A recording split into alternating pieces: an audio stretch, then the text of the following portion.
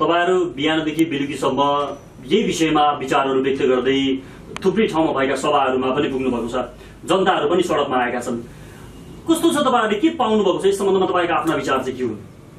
अब हेर्नुहोस् यो नेपाली शिर उचाली हर हमेसा देशभक्तिलाई शिरधार्य गर्दै जननी जन्मभूमि स्वर्यादपि गरिएसी motherland motherland are greater than heaven. हाम्रो देश स्वर्गभन्दा प्यारो हुन्छ भन्ने मान्यताको आधारमा तपाईँले अघि पनि पेट बोलीमा बोलिसक्नु भएको छ।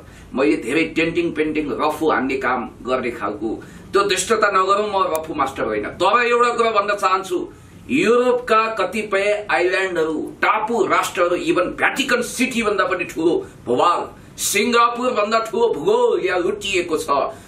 कालापानी लिम्पिया धुरा र लिपु लेकको यो समस्या भनेको कुसु मेरो मालको एउटा गीत छ नि। नयाँ चोट लागेको होइन पुरानै घाउ बल्झेछ। उहिले अठार सालमा अतिक्रमण गरेको भूमिलाई आज भारतमा कुनै समयका चायवाला नरेन्द्र मोदीजी नरेन्द्र दामोदर दास मोदीले कर्या च्याप्त बनाएका थिए। उनीहरूले आफ्नो दुष्ट रकमी वाइया फजुल त्यो खालको जाली झेली कृत्य खालको नक्सामा बलात् अपहरण गरेर उनीहरूले हालेका छन्। हामीले त्यसलाई घृणा गरेका छौँ च्यातेका छौँ मिल्काएका छौँ। शरीरमा एक थोपो रगत रहेसम्म प्राण वायु रहेसम्म हामी यो देशभक्तहरू शिरमा कफन बाँध्छौँ। एक हातमा परि आउँछ भने भोजपुरे खुकुरी लिन्छौँ अर्को हातमा चन्द्र सूर्य अंकित महान नेपाली राष्ट्र झण्डा राष्ट्रिय झण्डा बोक्छौँ सिमानाको रक्षाको निम्ति हामी ज्यानको बलिदान दिन तयार छौँ र मैले यति कुरा भने कि आज यत्र तत्र सर्वत्र करोडौं नेपालीहरू नेपाल बाहिरका नेपालीहरू डायस्पोरामा छरिएका देश विदेशमा रहेका देशभक्त नेपाली दाजुभाइ दिदीबहिनीहरू हातमा हात काँधमा काँध मिलाउन उत्सुक छन् र संसारभरि नेपाललाई माया गर्नेहरूले पनि हाम्रो यो लडाईँमा साथ दिनेछन्। हामी कूटनीतिक प्राविधिक राजनीतिक सामाजिक हिसाबले अगाडि बढ्छौँ गाउँ गाउँबाट उठ्छौँ बस्ती बस्तीबाट उठ्छौँ र हामी हाम्रो लुटिएको एक इन्च जमिन पनि छोड्दैनौ र तिन सय चौहत्तर बाह्र किलोमिटर भाग मिचिएको छ। लड्तर कुरा हो। वाइयात किसिमले हाम्रो भूगोल कब्जा गरिएको छ। के यो चान्चुने कुरा हो? नेपालीहरू वीर छन् बुद्धु छैनन् छोड्नेवाला छैनौ। तपाईँ हजार गाई दान गर्नुहोस् नरेन्द्र मोदीजी या क्षमा पूजा गर्नुहोस् तिरुपति जानुहोस् बाबाजी जानुहोस् फल तिवाना ढिस्काना कहाँ कहाँ जानुहुन्छ जानुहोस्। तर एउटा कुरा ख्याल राख्नुहोस् म हिन्दीमा भन्न चाहन्छु। मोदीजी आँखा मत चमकाइए हाथ मत लमकाइए क्योंकि ये शेर नेपाली है ये शेर जैसे गरजता है। कुत्ता भुक्ते हजार हात्ती लम्के बजार। हामी कसैको पनि वास्ता गर्दैनौ राष्ट्रियताको मामिलामा कसैसँग सम्झौता गर्दैनौ। आगो आगी झोपडी डेढगढी भाद्रा भने जस्तो पात्र हेरेर पनि बस्दैनौ। आकाशको राहु पातालको केतु एकचोटि नपरी कसरी चेतु पटक पटक खण्ड ठक्कर खाएका छौँ। डोनाल्ड ट्रम्पसँग मेरा हजार सहमति छन्। तर सिमानामा पर्खाल लगाउनु पर्छ मेक्सिकोबाट अपराधीलाई ढिम्किन पनि दिँदैनौ भनेर उनले अभियान गरे। र म तपाईँलाई भन्छु नेपालीले अब देशभक्त नेपालीहरूले देशभक्त नेपालीको प्रतिनिधित्व गर्ने यो सरकारले सिमानामा पर्खा लगाउनु पर्छ लगाउँछ काँडेतार लगाउनु पर्छ भिसा पासपोर्ट लागू गर्नुपर्छ। र म तपाईँलाई भन्न चाहन्छु एक हातले ताली बजेन एक रोटी पाकेन। यो देश जोगाउनु छ भने नेपालको national sovereignty territorial integrity independency बचाउनु छ भने हामीले देशभक्तहरूको रगत अझ उम्लिएको छ। यो देशभक्तिपूर्ण अभियानलाई चालू राख्नुपर्छ। फलाम तातेको छ ठोक्ने बेला यही हो आकार आउँछ म यही भन्न चाहन्छु। शब्द मुखबाट होइन मनबाट निस्कियो एक्कासी हृदयबाट। फुलेर आयो जस्तो गरी बोलिदिनु भयो तपाईँले अठार सालको कुरा पनि गर्नुभयो महेन्द्र वा राजतन्त्र अलिकति नेपालमा तेर्साउनुहोस् नेपालमा राजतन्त्र हुँदा हुँदै गयो भन्ने। खालको कुरा पनि आयो। यो भनेको चाहिँ अहिलेको सरकारलाई टेरेन तसर्थ यो पटक नक्सा बाहिर ल्याइदियो भन्ने हो। कुरा यस्तो हो अब हेर्नुहोस् यो कोहीलाई के धन्दा कोहीलाई के धन्दा घर जाँदा खानेकै धन्दा भन्ने टाइपका मान्छे पनि हामीले देखेका छौँ मैले कसैप्रति लान्छित गरेको होइन अहिले यहाँ एकाथरीलाई वन साङ्लोको भन्दा घर साङ्लोको चिन्ता लागेछ बुढी मरी भन्ने होइन काल पल्क्यो भन्ने समस्या भन्ने कुरालाई नजरअन्दाज गरेका छन् हेपेका छन् त्यो विषयलाई ड्याम केयर गरेका छन् गगन थापाजी फेरि मैले आरोपित गरेको होइन है गगन थापाजी डाक्टर बाबु राम भट्टराईजी ल ठिक छ रविजीले त आफ्नो एउटा देशभक्तको भूमिका निर्वाह गर्नुभएको छ काला पानी जान। अनि त्यसपछि उहाँले एक हातमा महान चन्द्र सूर्य अङ्कित झण्डा अर्को हातमा भोजपुरे खुकुरी उज्याउनु पनि तयार छु भनेर स्पष्ट मेसेज दिनुभएको छ। क्या बात स्याबास धन्यवाद भन्छु सामाजिक मुद्दामा पनि बोलिरहनु भएको छ। तर गगन थपाजी एउटा फोस्रो विज्ञप्ति फ्याँकेर अनि त्यसपछि ताकपरे तिहारी नत्र गोतामे। अनि कामको रहेकातिर कुम्भोबुकी ठिमीतिर कोहीलाई के धन्दा कोहीलाई के धन्दा घर ज्वाइँलाई खानेकै धन्दा टुडी खेल सागरिएको छ कोही बात छैन हामीलाई पनि चिन्ता छ। लडौँला नि बाबा हो लगनको बेला हगन। यति बेला काला पानी मार्च गर्ने कुरा सोच्ने कि सीमा बचाउने कुरा सोच्ने कि यो इस्यु डाइभर्ट गर्नको निम्ति सेलिब्रेटी भएर खुल्ला मञ्चमा पुग्ने। तपाईँको विषयमा एक एक हिसाब किताब नेपाली जनताले राखेका छन् र मैले एउटा कुरा तपाईँलाई भनौँ कि हेर्नुहोस् नेपाली जनताहरूले वास्तवमै भन्ने हो भने यो इतिहासमा यति धेरै मैले एउटा भिडियो हेरेँ एउटा साथीले त ओ हो त्यो जुडो कडापेवाला हुनुहुँदो रहेछ। के के के के गरेर मोदीको पुतलालाई नै उडाइदिनु भयो। र म भन्न चाहन्छु नरेन्द्र दामोदर दास मोदीजी तपाईँलाई तपाईँको जमिनको जति माया छ हामी शिरमा कफन बाँध्ने देशभक्तहरूको निम्ति पनि त्यत्तिकै माया छ। हामी नाला पानीको इतिहास बिर्सिन सक्दैनौँ। हामी काला पानी बचाउनको निम्ति कुनै पनि मूल्य तिर्न तयार छौँ। र यसमा एउटै कुरा म तपाईँलाई भनौँ सन् दुई हजार पन्ध्रमा अहिलेका स्टेट काउन्सिलर अहिले त्यतिखेरको विदेश मन्त्री याङ जैची विदेश मन्त्री हुँदाखेरि लिपुलेकको विषयमा भारतले झुक्क्याएर ट्रान्जिट पोइन्ट बनाएर सम्झौता गरेछ। त्यसलाई डस्टबिनमा पेन्डिङमा हालेको छ चाइनाले र चिनिया महामहिम राष्ट्रपति जस्तै छप्पन्न अर्ब रुपियाँ अनुदान घोषणा गर्न नेपाल आउनु भएको थियो। गरिमामय भिजिट सक्सेस भयो र हामी भारतसँग वास्तवमा भन्ने हो भने पौठे जोरी खेल्दै बच्चोट भन्दै पखलास भन्दै अनि त्यसपछि तारिक ताइका फुरल्ला जस्तो बुरुक बुरुक उफ्रिँदै तिग्रा ठटाउँदै गएका होइनौ नि त। एकवटा रोटी पाक्दैन हामी पनि मित्रताको ताली बजाउन चाहन्छौँ। तर भारी भारतले हामीलाई गाली गरिरहने अनि हामी के? त्यस खालको तपाईँले एउटा कुरा ख्याल गर्नु होला ढुकुरको छाती लिएर भएन के? सभा अर्ब जनसङ्ख्या छ त्यत्रो विशाल भूभाग छ छाती चाहिँ यत्रो कुखुराको जत्रो ढुकुरको जस्तो छ। र एउटा कुरा ख्याल गर्नुपर्छ कि आज हेर्नुहोस् खुकुरीको चोट अचानक थाहा हुन्छ। हजारौँ हजार हेक्टर जमिन मिचिएको कुरा छ र यहाँ पर्खा लाग्छ अनि काँडेतार पनि लाग्छ। यो एउटा यस्तो घाउ हो जसले हामीलाई पाठ सिकाएको छ। तपाईँसँग म फेरि आउँछु। मुकुन्दजी तपाईँको चाहिँ यो कालापानी लिपुलेक लिपु धाराको सन्दर्भमा यो मिचियो भन्ने सन्दर्भमा तपाईँका थुप्रै खालका धारणाहरू पनि विभिन्न मिडियाबाट बाहिर आए। केही मिडियाहरूमा त हेडलाइनले ए ठिक छ त पहिलेदेखि भारतको के लफडा गरिरहेको छौ भन्ने खालका कुराहरू पनि आए। तपाईँको आफ्नो विचार चाहिँ के हो? उहाँ पुण्यदायी लगायत अब अहिले देशभक्तिपूर्ण भावनाले जागेका जागरुक मान्छेहरूको के अरे म सम्मान गर्दछु। तर छिमेकीले कुट्यो थिचो मिचो भनेर रोइरहेर आफ्नै हिंताबोधग्रस्त भएको जस्तो लाग्दछ। यो दसैँमा रमाएका केटाकेटीहरू यो कालापानी भन्ज्याङबाट आएको चिसो सिरेटोले हानेर अहिले सबैको टाउको दुखेको छ। सबै स्यास्या फ्याफ्या गर्न थालेका छन्। यो मौसमी राष्ट्रवादको ज्वरोले हामीलाई च्यापेको छ। तर उहाँले पनि भन्नुभयो जस्तै अठार सालतिरै राजा महेन्द्रको सहमतिमा अ, कालापानीमा भारतको सेना इन्डियाको सवा करोड जनताको सुरक्षाको लागि पञ्चायत टिकाउन सम्झौता गरेको बसेको। देखिन्छ। त्यसमा विवादै छैन। र त्यो लगभग हाम्रा ठुला बडाले त्यति सहेको बुझाएको अनुमान गर्नुपर्छ। यो लिखितै रूपले कालापानी इन्डियालाई दिन सक्ने कोही पनि हुँदैन। त्यसका सन्तान दर सन्तानको जनताले खेदो खन्छन्। खोजेर चाहिने अ, दुर- भिडले दुर्व्यवहार गर्न सक्छ। तर इन्डियाको सुरक्षाको लागि कालापानी भन्ज्याङ चाहिँ चिनतिरको व्यापार र आन्तरिक सुरक्षाको लागि त्यो उसलाई नभई नहुने भएकोले कालापानी उसले छोड्न सक्ने जस्तो मलाई लाग्दैन।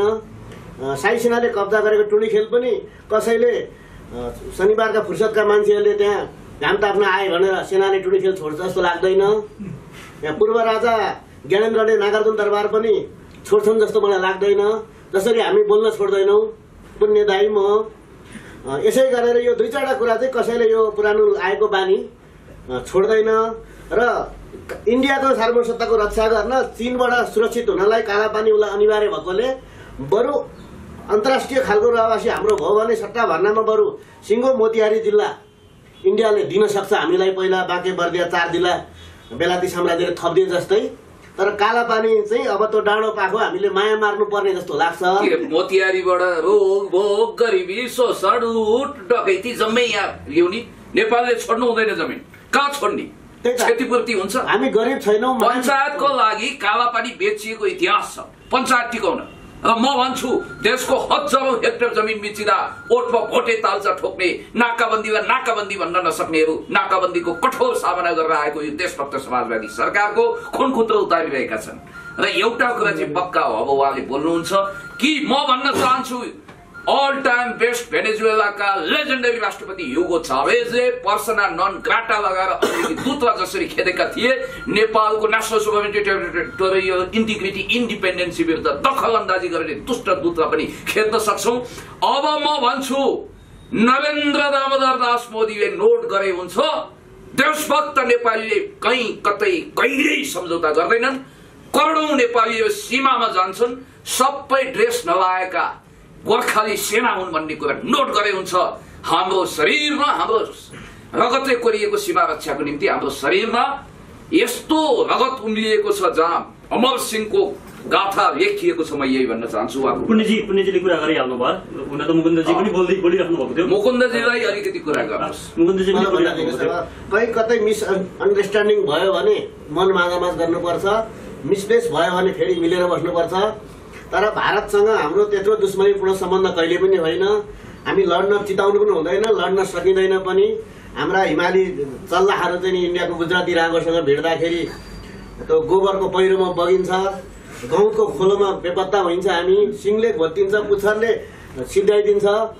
अब फेरि लड्न पर्ने यहाँ देखिँदैन। तर खालि उनीहरूको संवेदन राष्ट्रवाद हाम्रो मात्रै छैन। विश्वभरिका केटाकेटीलाई हाम्रो मात्रै राष्ट्र गतिलो भनेर पढाइन्छ। के तपाईँ लाछी कायर पामर पख्नुहोस् उहाँलाई प्रश्न सोध्छु। तपाईँ लाछी पानी मरुवा कायर पामर हो? चिलिमले घाम पो फुटाउँछ कि फुटाउँदैन? नपत्याउने खोलाले बगाउँछ कि बगाउँदैन डाइनोसर सिद्धिन्छ कि सिद्धिँदैन? कमिलोले हात्तीलाई धुरुक्क लाउँछ कि लाउँदैन झिरे खोर्सानी त्यति तेजिलो हुन्छ भेडे खोर्सानीको कुनै अर्थ हुँदैन। याद गर्नु होला ठुला ठुला वीरहरू पनि म तपाईँलाई भन्छु जतिखेर हेर्नुहोस् नेपालको लाखौं वर्षको इतिहास छ। आकाशमा चन्द्र सूर्य रहेसम्म यो महान राष्ट्र बाँच्ने छ। जतिखेर अलेक्जेन्डर दि ग्रेटले भारतको यमुना नदीमा तलवार पखाल्दै थिए जतिखेर अङ्ग्रेजको तलुवा चाड्दै थियो भारतीयहरू अनि जतिखेर नरेन्द्र मोदीका पूर्वजहरू मङ्गोल सम्राटको अगाडि तुमेव माता पिता तुमेव तुमेव सर्वम मम देव देव भावमा गिडगिडाउँदै थिए नाक रगड्दै थिए। चौरको दुबो दाँतले टिप्दै थिए त्यतिखेर लाखौं लाख वर्ष पुरानो मानस पुराण हेर्नुहोस् अथवा स्कन्द पुराण हेर्नुहोस् हिमवत खण्ड हेर्नुहोस् पौराणिक ग्रन्थ हेर्नुहोस् चाणक्य नीति हेर्नुहोस् अथर्वेद जो लाखौं वर्ष अगाडि लेखिएको त्यसमा नेपालको नाम उल्लेखित छ।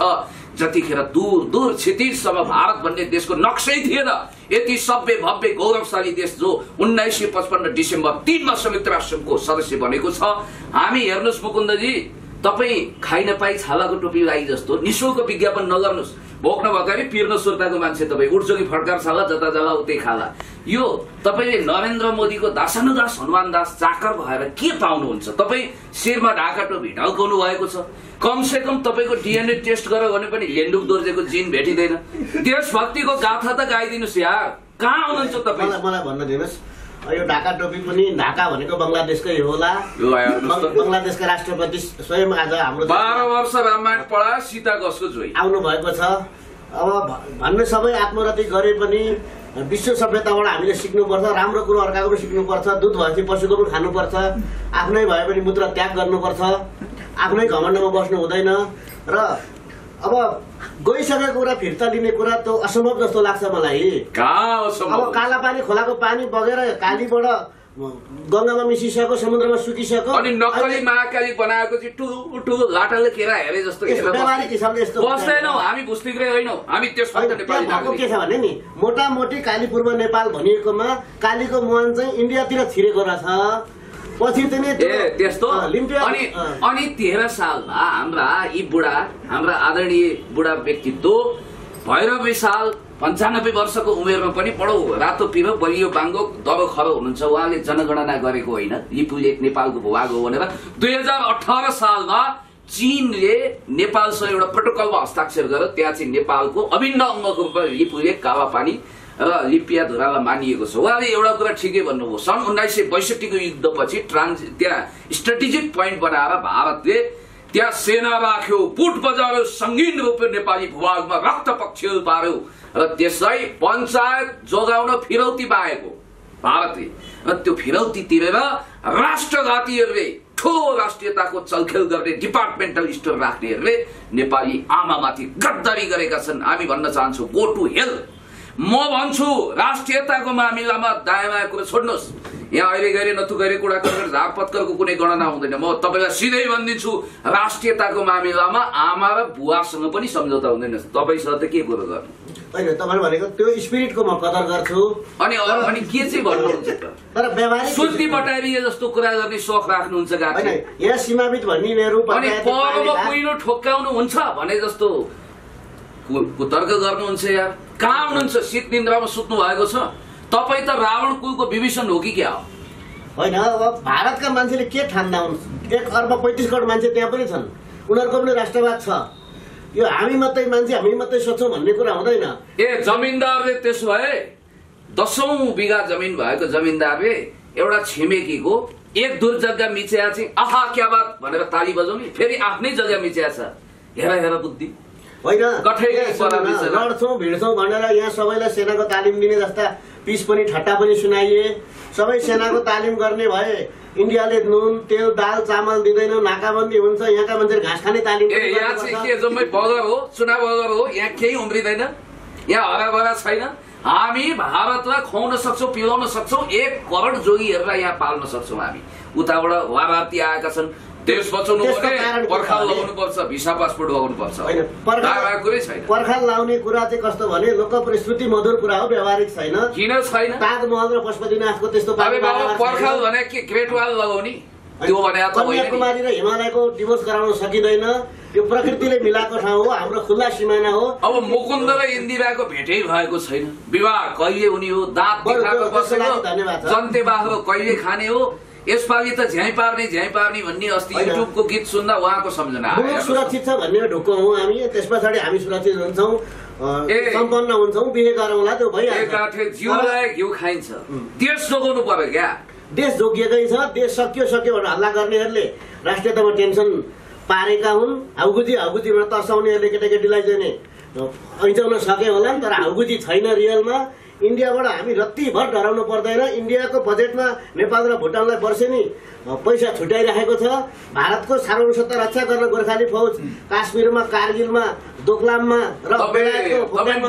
मोदी हो कि मुकुन्द घिमिरे? शरीर त नेपाली छ। आवाज पनि नेपाली छ आत्मा तपाईँ कम्युनिस्टहरू ग्लोबल के अरे अन्तर्राष्ट्रवादी हुन्छन्। पहिलो देशभक्त। मात्रै अन्तर्राष्ट्रिय हाम्रो देशलाई कुनै खतरा छैन।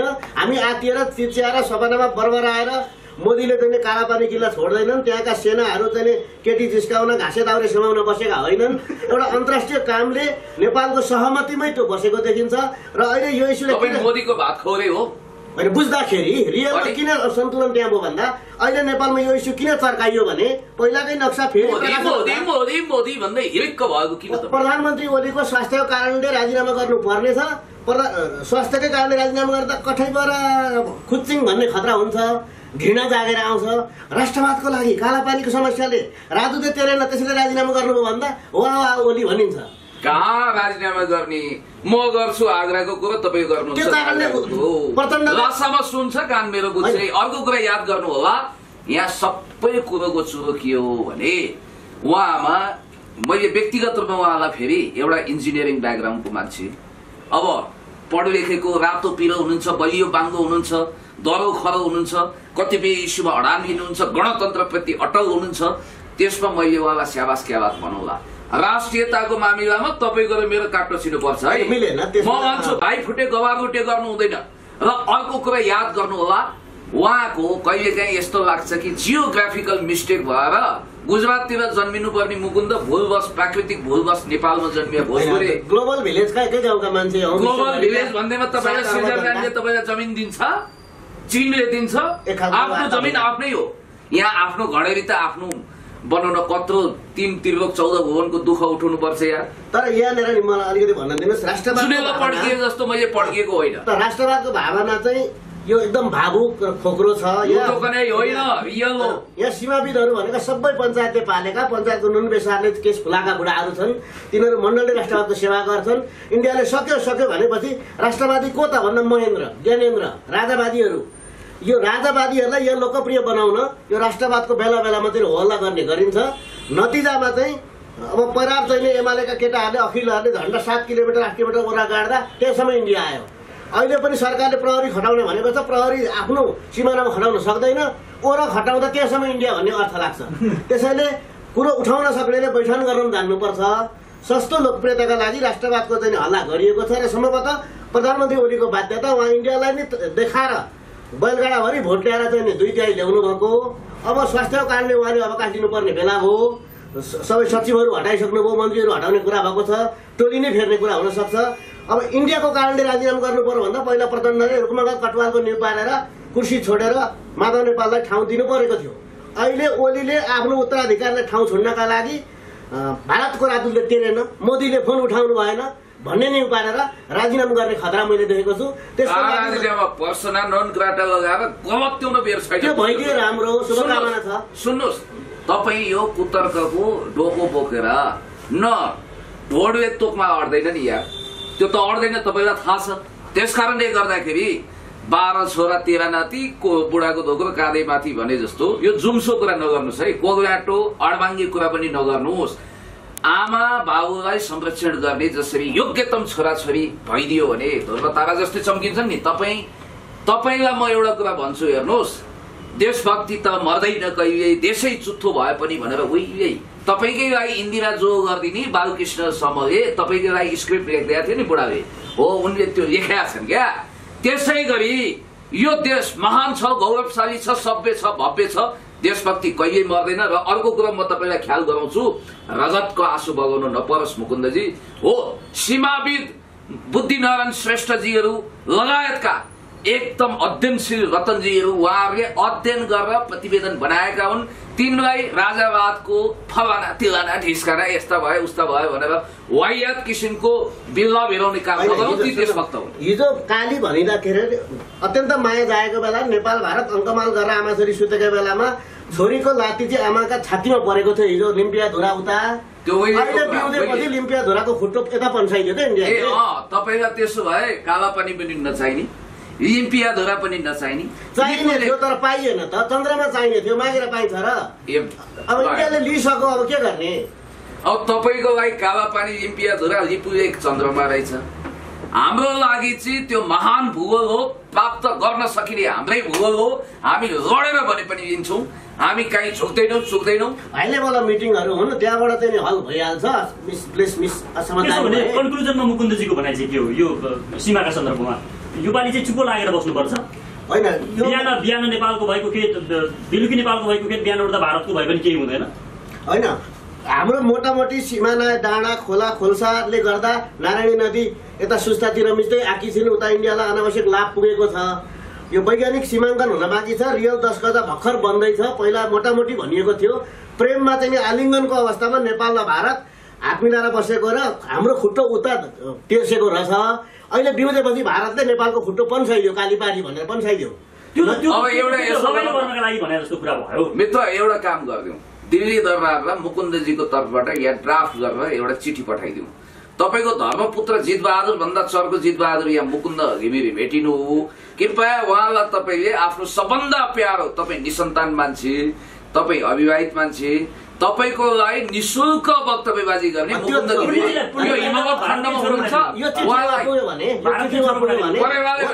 पशुपतिनाथमा एउटा त भारतलाई बुझ्ने नेपाललाई बुझ्ने मान्छे रहेछ दक्षिण एसियालाई बुझ्ने मान्छे रहेछ भन्ने सूचना पुग्छ त्यो चिठीसँगै धन्यवाद। कठै बिचरा खुट्टी हेर्दै चाल पाइ त्यसो भने फेरि पनि तपाईँको भनाइ के हो भने हामी चुप्पो लागेर बसौँ। भारतबाट डेमोक्रेसी आएको छ जति बोलाउनु पाइन्छ भारतबाट बिजुली आएको छ जति बाल्न पाइन्छ भारतबाट लोकतन्त्र के अरे यो धर्म आएको छ जति यहाँ कुकुरले कुकुर तिहार मनाए पनि हुन्छ। तर बोलेर फरक पर्दैन। काला पानी अहिले प्रधानमन्त्रीको पनि सहमति हुन सक्छ प्रचण्डले त अन्तर्राष्ट्रिय कुरा गर्नै हुँदैन हाम्रै बेजत हुन्छ। छिमेकीले कुटो भन्दा हिँड्दाखेरि आफ्नै बेजत हुन्छ भनेर भन्नुभएको छ। यो हल्ला गरेर फाइदा हुँदैन रमाइलोको लागि रुवाबासी गर्दा फरक पर्दैन उहाँको यसले यसले त म तपाईँको उहाँलाई राष्ट्रियता भन्ने कुरा सबै मुकुन्दजीबाट हराएर गयो भन्ने अर्थमा बुझ्दैन नि मान्छे भारत स्वतन्त्रताका सङ्ग्रामका नायक मानेका गान्धी नेहरू बेलायतकी एलिजाबेथका काखमा हुर्केका हुन् नेल्सन मण्डेलाको नामै अङ्ग्रेजी प्रकारको नेल्सन थियो यो राष्ट्रवाद भन्ने विश्वमै बहुतै खोक्रो भावुक भावना हो भुटानका केटाकेटी भुटान मात्रै ठुलो भन्छ नेपाली जस्तो हो हामी भन्छन् भुटानमा भट्टीमा भोटेहरू मातेर यता नेपालीहरू हामीलाई भुटान सम्झेको भन्छन् भुटानबाट नेपाल देखिँदैन देखिँदैन विषयमा चुप लागौ भन्ने हो।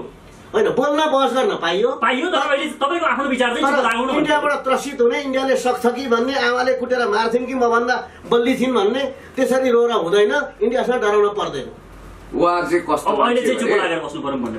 बहस गरौँ छलफल गरौँ। यो विषयमा चाहिँ नगरौँ। किनभने इन्डियाले लयो ठिकै छ नि त भन्ने हो तपाईँको भनाइ। इन्डियाको डरले दुब्लाएर हामीलाई केही फाइदा हुँदैन। राष्ट्रवादको भावना विकास गर्न केही जङ्गी कुकुरहरू हामीले पाल्नुपर्छ। हाङहाङ गर्ने छिमेकीलाई भुक्न पाइन्छ। तर टोक्न हुँदैन। तपाईँले तपाईँलाई अर्को कुरा पनि थाहा होला। तपाईँ त भिन्नै सकिँदैन। त्यत्रो ठुलो सङ्घकार भिड्न सकिन्छ भन्ने भाइ। हिजोको इतिहास त थाहा छ त। हिजो हामी भारतसँग होइन हामी त अङ्ग्रेजहरूसँग युद्ध लडेका देशका नागरिकहरू हौँ। त्यो त जित्ने इतिहास लेख्छ बढाइ चढाइ राजा महेन्द्रले महेन्द्रवाला लेखाएर कुटी कुटी पढाएका छन्। भिक्टोरीले भिक्टोरी गरेको विश्व हो। दक्षिण एसिया घाम नअस्ताउने बेलायती साम्राज्य त छँदैछ अन्तर्राष्ट्रिय आज। मेरो बेग्लै दाबी छ अलग्गै छलफल गरौँला तर यो देश चाहिँ राजा महाराजाका तिग्रेहरूले जितेर दरबारले बनाएको होइन। मन्दिरले धर्मका लागि एउटा भारतको आवश्यकताले बेलायतको आवश्यकताले एउटा अनौठो शिवलिङ्ग पूजा गर्ने हिन्दू धर्मको रूपमा धार्मिक राष्ट्रियता हुन डह्रो छ। मन्दिरले होइन दरबारले बनायो। श्रीपेशले होइन चाहिँ गजुरले बनायो। त्यसो भने तपाईँको कुरा एकैछिनलाई तपाईँको कुरा एकैछिनलाई जहाँको त्यही रोग हो यो विषयमा एकैछिन पछाडि कुरा गरौँला। हुन त फेरि मुकुन्दजीसँग कुरा गरेर सकिँदैन पनि। कुरा आइरहेको मुकुन्दजीका। एकैछिन पुण्यजीतिर लागौँ। तर एउटा कुरो म जीवनमा पहिलोचोटि यत्रो कन्भर्सेसन भयो। एउटै कुरोमा चाहिँ उहाँलाई मैले वास्तवमा ढिलै भए पनि कुरो बुझ्नु हो है भन्नु पर्यो। अरू सबै कुरो मैले खारेज गरिदिएँ डस्टबिनमा हालिदिएँ च्याचुत पारेँ उहाँको कुरो। किनभने मलाई जचेन। एउटा कुरा के भने इतिहासको महान निर्माता र राष्ट्र जोगाउने राष्ट्र विकसित गर्ने भनेको कुनै ठुला महलमा सिसाको महलमा जन्मिएका राजा महारा- महाराजाले होइन। नेपाली जनताले हो। नेपाली जनताकै छोरो देशभक्त हुन्छ। झुपडीमै जन्मिएको मान्छे माथि पुग्छ। झुपडी यसको मतलब झुपडीहरूको एकता नै राष्ट्रियता हो भनेर पुष्पलालले सायद ठिकै भनेका थिए।